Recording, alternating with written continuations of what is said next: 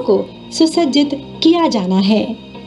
थाने का आरेख निर्धारित करते समय माननीय सर्वोच्च न्यायालय द्वारा मानव अस्मिता हेतु निर्धारित की जाने वाली मूलभूत सुविधाओं और नक्सली हमले को दृष्टिगत रखते हुए बचाव के प्रत्युत्तर के लिए सुरक्षा के सभी दृष्टिकोण को ध्यान में रखा गया है।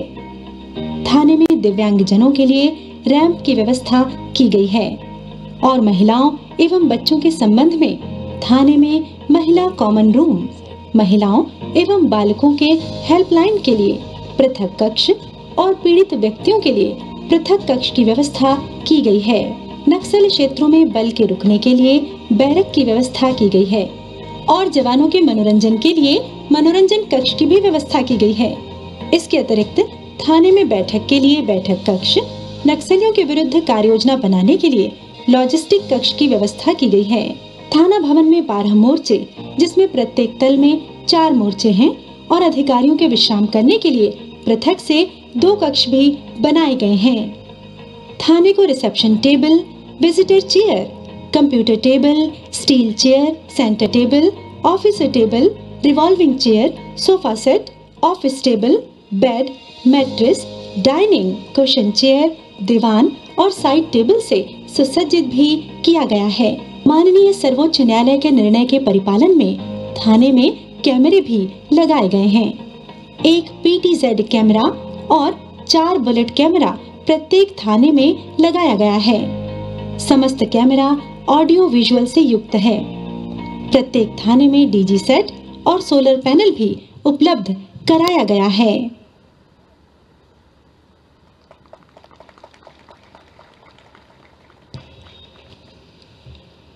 माननीय मुख्यमंत्री महोदय, हार्दिक धन्यवाद कि आपने इन सुविधाओं का लोकार्पण जन जन के लिए किया है। और इसके साथ ही हम संबोधन के लिए सम्मान के साथ आमंत्रित करते हैं पुलिस महानिदेशक महोदय श्री अशोक जुनेजा जी को। श्री अशोक जुनेजा जी।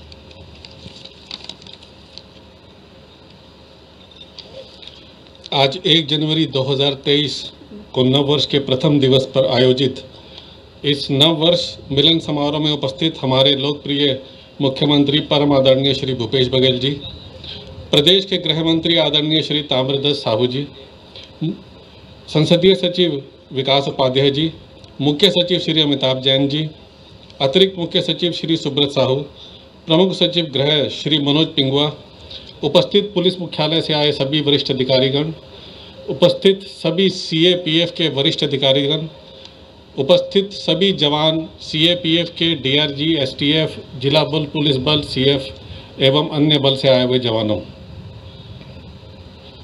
वर्ष 2020 एवं 21 में पूरी दुनिया में कोविड का भयंकर प्रकोप रहा।